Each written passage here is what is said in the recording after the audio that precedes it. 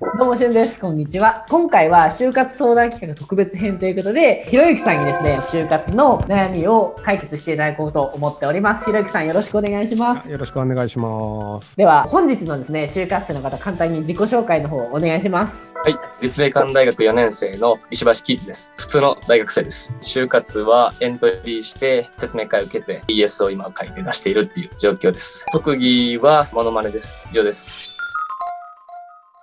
モノマネ得意っていうのって結構地雷だと思うんですけど、振られた場合いつも何やってます？よくやってるのはナダルさんとかドビーとかハウルの動く城の犬とかをやってますね。あじゃあ、ハウルの極白の犬お願いします。いきます。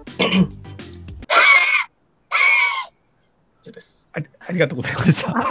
ちなみに、打ち合わせの時に、すごい良かったの、ナダルさんのモノマネとかもお願いします。いや、しゅんさん。いしゅんさん。無理やった。やめてください。しゅんさん。すいませんあの、はい僕、元ネタのナダルさんも知らないんですよ。本当ですか？失礼いたしました。最初にじゃあ今の簡単な就活の状況をお伺いしてもいいですか？最近は説明会とかにいっぱい参加しているっていう状態ですね。じゃあまだ内定とかは、あ、内定はしっかりゼロです。4年生ってことは、もう1ヶ月後卒業ってことですか？半年間昨年休学してまして、なので今から春だけ受けて秋に卒業します。9月から就職したいっていうことになるんですよね。いや、22卒と一緒のタイミングでの就活をしてます。じゃあえー9月にそ4の卒業はするけど、来年の4月まではダラダラする気でいると。だらだらはしないつもりなんですけど、何かしたいことがあればしようかなって思ってます。それって面接の時とか聞かれません？がチャンスかなっていうふうには考えてますね。チャンスの？例えば？最近 IT 系の企業に出るので、それの勉強とか、ワーキングホリデーに行ける状態であれば、ワーキングホリデーとか行きたいなとか思ってます。今回は見ている IT 系の会社の採用責任者としてひろゆきさんに面接をしていただけたらなと思いますではよろしくお願いします学生時代取り組んでいたこととしては、英語を勉強をとってもしてましたっていうのも好奇心がすごい旺盛なので、いろんな人と喋って、いろんな価値観に触れて、自分の世界を広げたいなっていう思いを持って取り組んでいました。他にもチョコレート屋さんでアルバイトをしたり、塾でアルバイトをしたりと、いろんなところに挑戦するようにしていました。ちなみにその英語が得意っていうのはなんか客観的なのあります？ TOEICが870点でお、すごいですね。それが2年前で、その後留学行ったので、今はもうちょっと取れるのかなとは思ってます。なんかそれを言った方がいい気がするんですけどバイトをしてたとかはあんまりプラスにはならないかなっていうのとあと勉強してましたって多分大学生みんな英語勉強してるんですよ。なので勉強してました意味なくて好奇心ないですっていう人もいないのでなるべく客観的な情報を混ぜた方がいいんじゃないかなと思いました。で留学してたっていうのはどちらの国？に1回生の時にニュージーランドに1ヶ月間と、3回生の秋からドイツに半年間行ってました。じゃあドイツ語もいける？普通に店員さんと会話とか、友達と会話ぐらいはできます。要はその英語できるのは当たり前だよね。ってのは TOEIC で870で言っちゃってるので。でドイツ語も半年間ドイツで生活してたんだったら多少できるよねは伝わるじゃないですか。なのでその一応ドイツ語もそれなりにできますみたいな方で持ってった方が多分いけると思います。その IT 系に入りたい理由は？幅広くいろんな社会問題に貢献できるのかなっていうふうに考えているからです。そうですか？多くの会社って、うちはこんな社会貢献してますとか、こんな社会にいいメリットを与えてますよって、きれい事を言うんですけど、それ別にその会社の目的ではないんですよね。あくまでまあ上場企業の場合は、あの金稼いでうまく会社を大きくするっていうのが目的だったりするので、それメインじゃないんですよ。よく思われたいから持ってる部分で、その持ってる部分をやりたいって言われても、いやいや、それうちのメインの事業じゃねえからっていう風になっちゃうんですよね。はいなので、IT 系でやりたいとかであれば、給料高そうとか、別の理由の方が、まだそれっぽいんじゃないかなと思いますけど。ちなみにもともと IT 系に興味はあるんでしたっけ？もともと全然なくて営業がすごいしたいなと思ってたんですけど、ちなみに営業がしたい理由は？営業が向いてるからかなっていうふうには考えてます。向いてるとはなぜそう思ったんですか？自分コミュニケーション能力が非常に優れているなっていうのはみんなからでも言われますし自分でもそう思うのでそれが活かせる職種は何かなって考えた時に営業一個あるなと思って。コミュニケーション能力が高いって、例えば面接で言って、じゃあどういうところがコミュニケーション能力高いんですかって言われたら何て言うんですか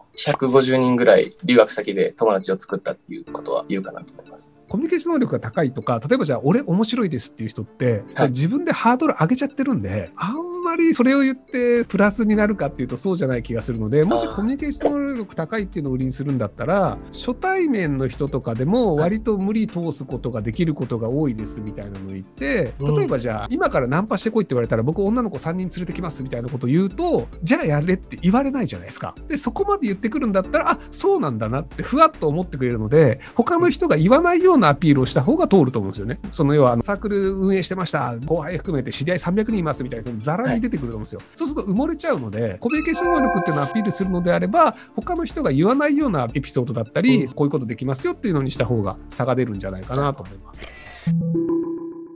僕、留学先がドイツで、いろんな国の人が来てて、コミュニケーションツールとしては英語を使ってたんですね。バックグラウンドによってその話す英語の癖であったり、スピードとかが違うので、結局喋ってるけど伝わってない状態っていうのがあって、英語としては何言ってるかわからんけど、雰囲気とキーワードとテンション等で、相手がほんまに言いたいことっていうのを捉えるっていう練習をずっとしてたので、そういった意味で、相手の真意を取るっていうコミュニケーション、伝えることができるし、聞くこともできるみたいな、っていう意味でコミュニケーション能力があるかなと思ったんですけど、そこら辺差別化あんまできなさそうですかね。例えばじゃあ各人種で英語に癖があったりするじゃないですか。例えばそのインド人のしゃべる英語の癖だったり、はいはい。ドイツ人がしゃべる英語の癖だったり多分そのドイツで留学生多いところにいたと思うので例えばそのあのイギリス人だとこう発音します。アメリカだとこうですよみたいなのがもしできるとこの人耳もいいしそういうのも分かるんだっていうのが要はスキルの説明になるんですよ。こういうエピソードがありましたって面白い話じゃなくてこういうスキルがありますっていうのをエピソードの体で混ぜるとはい。そのスキル持ってるっていう評価になるのでなのでそのフランス人が喋る英語はこうでドイツ人が喋る英語はこうでみたいなのって物場でもないと思うので外国人ごとの英語の違いみたいなのがこういう感じで違うんですけどあの聞いてるだけで何人か分かるんですよっていうのをやるとへーってなるので2時間ぐらい練習すればできると思うのでやってみてください。週末何にしてます？友達と予定外はフットサルとか、体を動かすことが好きなので、あと、本当に何も予定がない日とかやと、ずっと映画とかをいっぱい見るようにしてます。最近どんな映画見ました？グッバイアウトローっていうので、ジェントルメンな銀行強盗の話です。ちなみになんで僕週末何してますかって聞いたかっていうのって、は会社で何したいですかとかって綺麗事言うじゃないですか。フットサル好きスポーツ好きっていうのがあるので、あ体動かして友達と何かやるのが好きなんだっていうタイプで、まあ、体動かすの好きで筋トレ好きっていうタイプの人ってあ友達と連絡したりコミュニケーション取るのそんなに得意じゃないっていうのがあったりするので暇な時間に何するかでこの人がこういうものが好きでこういうことやってるとかあと映画のジャンル聞いたのってじゃあ恋愛ものとかだったりアクションものだったり時代劇だったりってそのカテゴリーによってそういうのが好きみたいな思考もわかるじゃないですか。なので。その人を判断する上で暇な時何やってるのを聞くっていうのは僕は結構やるんですよ。ということでですね、一連の面接が終わったということで、ひろゆきさんにですね、今10分ほど面接をしていただいた中で、石橋さんが採用か不採用か、あくまで個人のご意見で大丈夫なので、ご判断のほどをお願いします。初っ端のままだったら多分落としてると思うんですよね。要はあの聞き出してエピソードがあってあこういうことでとかがあったので割と努力できるタイプなんだっていうのが伝わってきたんですけどそれが伝わってなかったら多分落としてる気がするんですよね。よりブラッシュアップしたら、採用に近づくっていう形ですかね。スキルがあるかどうか結構どうでもよくてちゃんと努力して必要なスキルが手に入れられるタイプなのかなっていうのが分かるかどうかが重要なのでこういう努力をしてこういうのが得られましたっていうのが見えるようになった方がいいんじゃないかなっていうのでで話してるうちに割とちゃんと努力をしてくる部分が垣間見えたのでええと思ったっていうのがありますね。ただ営業でそのソルジャー採用したいのであれば全然採用されると思いますけどね。あと例えばじゃあ録画をするときに録画の設定ちょこちょこスマホいじったりしてたじゃないですか。今日の話って多分何日か前から来てて録画してくださいも言われてたと思うので、はいその時に何が必要でスマホどうやって置いたら撮れるなとかって多分10秒考える時間があったらやれてたと思うんですよ。なのでこういうことが必要だよねっていうのを先回りしてるっていうのがちゃんと伝わった方がいいと思うんですよね。要は前もって分かったことをこの子準備してないなってなると仕事の時とかも必要なことやらないで現場記者とかやらなきゃいけないことを忘れてきちゃうタイプだって思われちゃうと損なのでそういうタイプだとしてもそれが分かんないようにうまく取り繕うっていう癖をつけた方がいいんじゃないかなと思います。繕います。フィードバックが的確だなと思いました。その面接の感想をお伺いしてもいいですか？